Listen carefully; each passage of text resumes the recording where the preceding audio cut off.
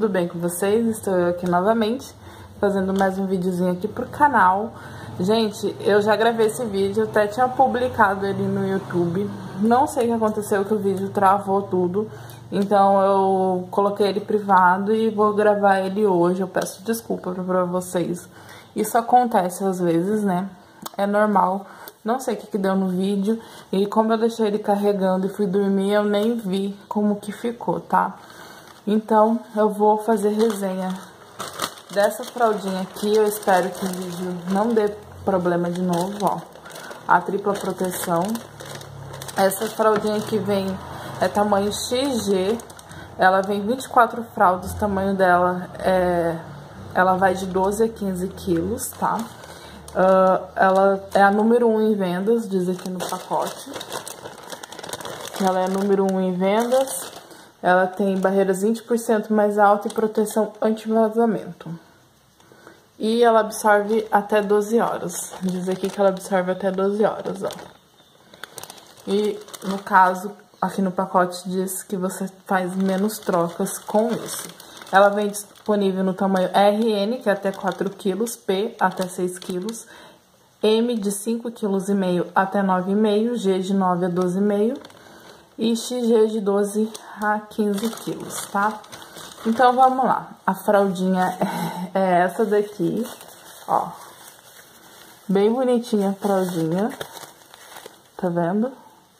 Ela é azulzinha, tem o desenho do Cebolinha, da Mônica. Ela é muito lindinha, essa fraldinha. Ela tem velcrinho aqui, ó. Umas bolotinhas brancas, não sei se vai dar de vocês enxergarem, ó. E a, o, aqui é de TNT, ó. E eu não tinha mostrado no outro vídeo, mas aqui é de velcro, toda de velcro e é um velcro redondinho, ó. Tá vendo? E isso não pega, é bom que não fica pegando no bebê, né? Isso é super bom. Ela tem a barreirinha alta, gente, igual tá no pacote mesmo. O elástico da perninha dela é bem confortável. O gel dela é mais na frente, ó. Ó, um gelzinho azul mais na frente, eu achei. E então eu acho que isso é super bom pros meninos. Aí aqui até que é, é algodão branco, né? E aqui já é o plástico. E aqui atrás não tem gel, é só algodãozinho até aqui. E o restante da fralda, ó, daqui até aqui é só plástico. Que é o material da fralda, no caso, né? Ela é uma fralda macia, só que eu achei ela um pouquinho dura, tá? Pra quem tá acostumado com a marca concorrente, ela é um pouquinho dura.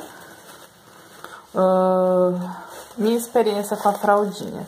No pacote diz que ela dura até 12 horas. Aqui em casa ela não durou, não dura até 12 horas. Eu acho que essa fralda tem que ter um jeito para você colocar, porque essas pernas dela é muito grande, ó. Se você não colocar ela certo, igual a Heloísa tem que apertar a fralda. Se você não colocar ela certo, vaza xixi.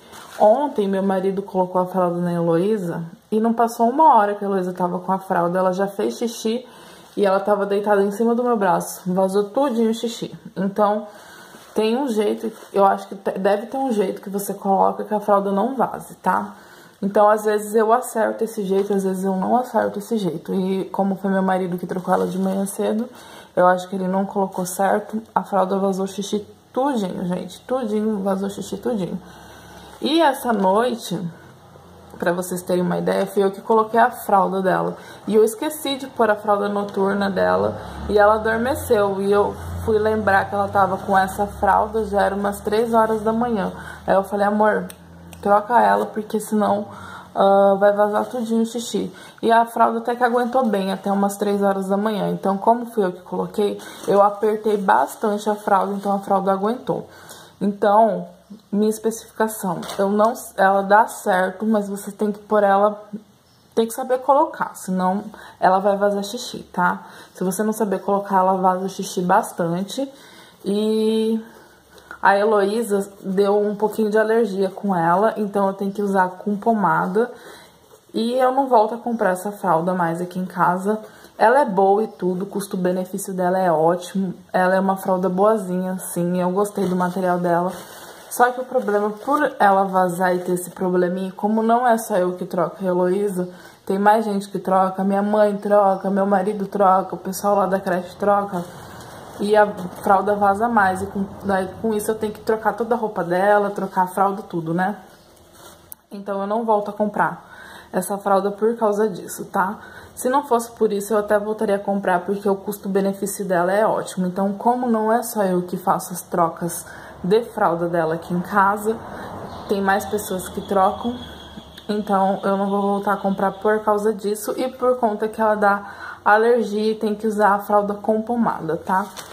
E, gente, eu não vou me estender no vídeo, já tem 5 minutos de vídeo, vai pra 6.